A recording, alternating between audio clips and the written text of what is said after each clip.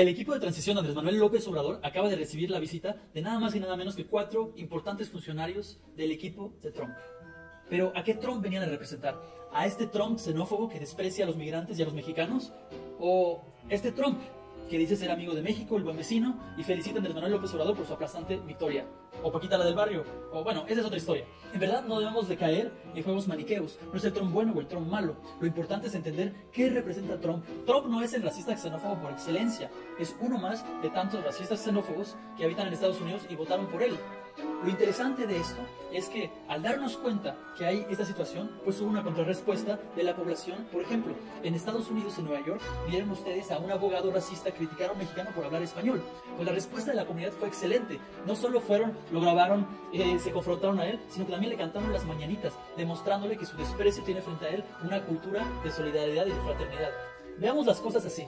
En el gobierno del carismático Obama, que no tiene nada que ver con Trump, se deportaron en 2010 y en 2011 a más de 200.000 migrantes por año. ¿Por qué la gente no estaba hablando de eso? O si lo estaban, ¿por qué era de forma local mientras los medios de comunicación volteaban a ver para otro lado? De hecho, la gran ventaja que trajo Trump es que su discurso racista, xenófobo, abierto, hizo visible un fenómeno que ya existía, pero del que pocas personas estaban hablando. Y de pronto los medios de comunicación, por fin, por fin, empezaron a hablar de lo que estaba sucediendo en las calles de Estados Unidos con la población migrante. En México sucede algo similar.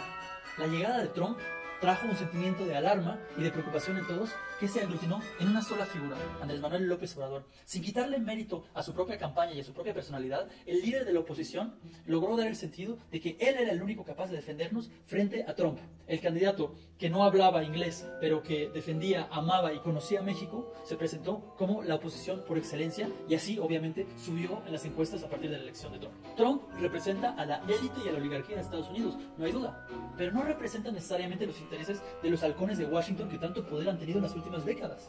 Si un candidato demócrata o republicano hubiera ganado las elecciones, seguramente el intervencionismo de Estados Unidos en esta elección mexicana hubiera sido mucho más grande. Piensen simplemente en los comentarios de Hillary Clinton sobre Kissinger, su gran admirado y adorado Henry Kissinger, responsable de tantas intervenciones estadounidenses en América Latina. Es fácil odiar a una figura pública tan despreciable, tan falta de valores, tan infantil, tan impredecible a veces. Es mucho más difícil entenderla, pero es más importante para nuestra causa. Hagámonos tres preguntas esenciales. ¿Por qué hay una población xenófoba, racista, que se identifica con Trump tan amplia en Estados Unidos? ¿Qué es lo que nos hizo llegar ahí? ¿Por qué los estadounidenses desprecian tanto a los políticos tradicionales al grado que ahora muchos estuvieron dispuestos a votar por Trump?